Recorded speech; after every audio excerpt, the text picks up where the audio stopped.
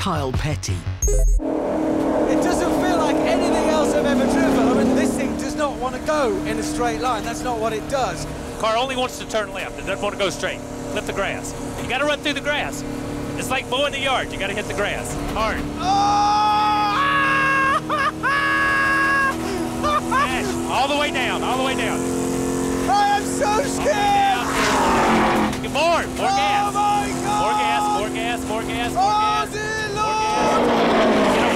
Wall a little bit. Close. I am next to the wall. Eventually, Kyle let me go out on my own. Letting it find grip. Trying not to fight it too much.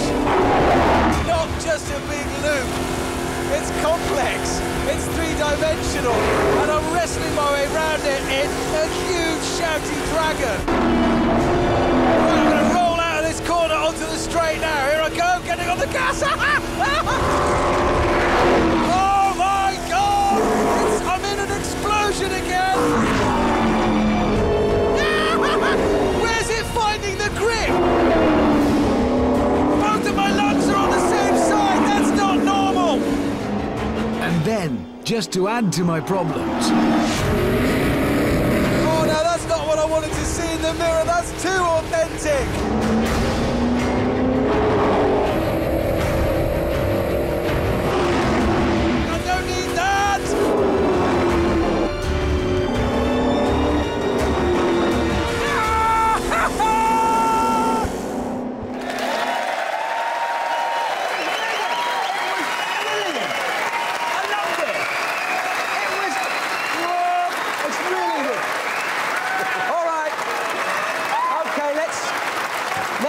Let's over with. Come on then, Mr. F1 fan. I'm braced and ready for your comments. Go.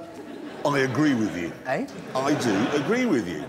The Americans are very bad at some things. They can't say aluminium, and they can't win a war without our help, but they are very good at making dreary sports very exciting to watch. Let's just take, for an example, rounders, right? That's played by small children here.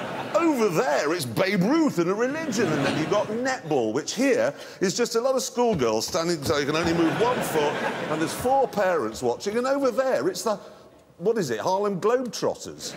They are quite easily amused. the They're Americans. unbelievably easily amused, and that's why they're able to make NASCAR exciting. It's just some good old boys going round in a circle, and they go, oh, hell, I go pay to watch that.